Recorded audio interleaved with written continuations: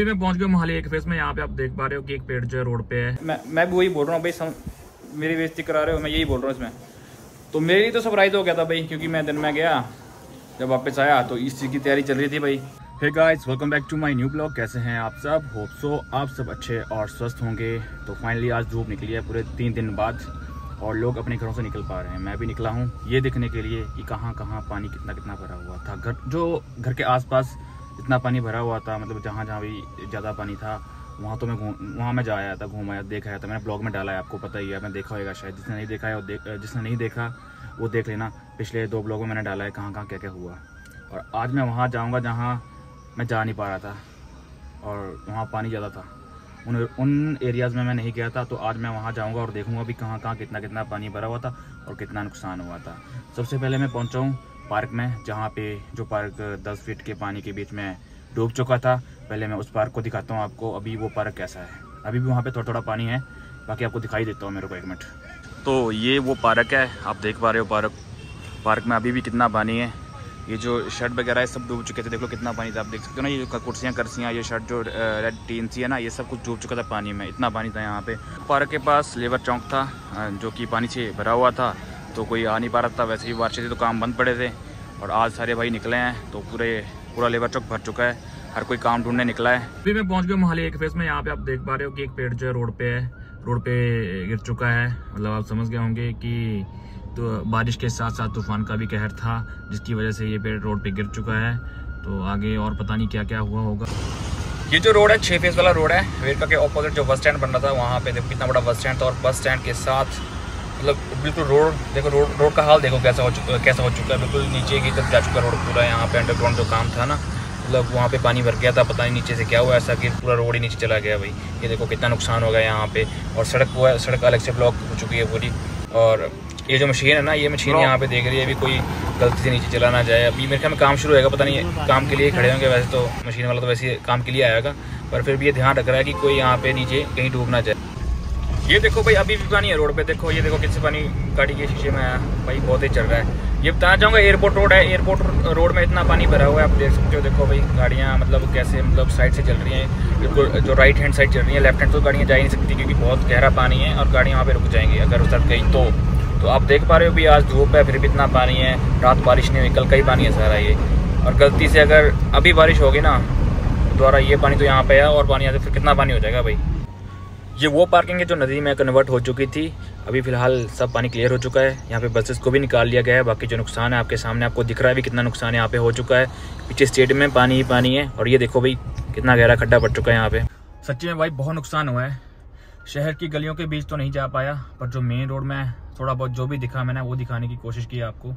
बाकी कई जगह अभी भी पानी स्टोर है, नहीं निकला पूरा पानी पे। बहुत जगह पानी है, बहुत अभी बहुत पानी है, बहुत जगह। तो उसको निकाल रहे हैं वो जी क्या कहते हैं मोटर से नहीं होती उनसे निकाल रहे हैं क्लियर कर रहे हैं पूरे पानी को। बाकी आ, मेरा भी अब घर जाने का टाइम हो गया तो घर जा रहा हूँ मैं। घर जाके मिलता हूँ फिर अब। फाइनली घर पे पहुँच चुका हूँ और घर आते ही मैं देख रहा हूँ कि घर वाले कुछ बना रहे हैं। वैसे भी घर वाले कुछ ना कुछ बनाते रहते हैं आज फिर ये बना रहे हैं क्या बना रहे हैं। कप्तान चलो चलो पीछे। क्या बना रही है क्या ये? पत्रोड़ा पत्रोड़ा। पत्रोड़ा। पत्रोड़ा बोलते हैं मास्टर वैसे क्या बोलते हैं? तो जो भी है ये बना रहे हैं आपके सामने है। पेठा भी बोलते हैं। पेठा भी बोलते हैं। मैंने पहले ही कहा कि घर वाले कुछ ना कुछ बनाते रहते हैं। अभी ये बना रहे हैं। तो कुछ चाय नहीं पिलाएगी? अभी पहुंचो हाँ, तो मना कर दिया नहीं पिलाएगी सब कुछ चाय।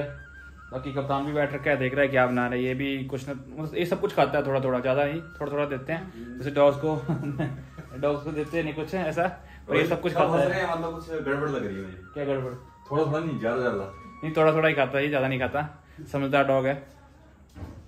बाकी मैं पहले पानी वगैरह पी लेता हूँ अभी पहुँचा हूँ उसके बाद मिलता हूँ। कप्तान क्या सोच रहा है? पता नहीं। कप्तान? है ओए क्या सोच रहा है? कुछ शैतानी सोच रहा है पक्का? है ना? ये बना रहे हैं भाई। ये ये, ये क्या है? किस चीज़ बनाई कैसा मसाला? चावल। चावल का आटा और बेसन है? अच्छा। और भी बहुत चीज़ें हैं वो बता नहीं सकते। क्यों? इंग्रेडिएंट हाँ, ऐसा क्या? हमारी मैंने और ये ये इन पत्तों का नाम क्या होता है? अरबी के पत्ते। अरबी के पत्ते। इससे बन रहा है भाई और अरबी नहीं? हाँ। सब्ज़ी का नाम अरबी है। जो भी है। रात के नौ बज चुके हैं। जैसा कि आपको पता है आज घर पे बन रहे हैं पतरोड़ू। भाई मेरे तो मेरे लिए तो पतरोड़े। अरे अरबी की सब्ज़ी नहीं इसको यही बोलते हैं अपने ही मतलब। तो मेरे लिए तो सरप्राइज़ है? पतरोड़ा। हाँ ठीक है वही तो बोल रहा हूँ। अरे मैं मैं भी वही बोल रहा हूँ भाई सम, मेरी बेइज्जती करा रहे हो मैं यही बोल रहा हूँ इसमें। तो मेरे लिए तो सरप्राइज़ हो गया था भाई क्योंकि मैं दिन में गया जब वापस आया तो इस चीज़ की तैयारी चल रही थी भाई। पहले उनको वो क्या बैटर लगाया उसके बाद उसके बाद बॉईल किया स्टीम किया ना। अब तड़का लग रहा है भाई। तो मेरा कहने का मतलब ये है कि अभी हमारी खाने की तैयारी है बस अभी डलने वाले प्लेट में उसके बाद खाएँगे भाई। अ, मैंने दो तीन बार ही खाया है चौथी बार खा लूँगा मुझे लग रहा है। पहले भी पापा ने बनाया इस बार भी पापा ने बनाया। खुशी है भाई। तो पहले खा लेता हूँ। पहले दिखाता हूँ ना तड़का कैसे लग रहा है कैसे बने हैं। मतलब दिखाता हूँ अभी पहले आपको।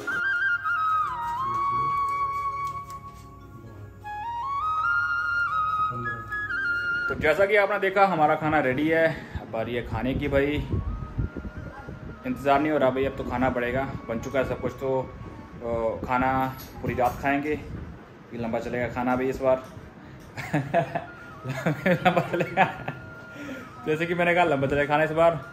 तो ब्लॉग एंड भी करना पड़ेगा। आ गया थे फिर। और पहले वो करें अपना चैनल को लाइक कमेंट शेयर और चैनल को सब्सक्राइब करें। आ गया थे भाई। जय हिंद, जय भारत।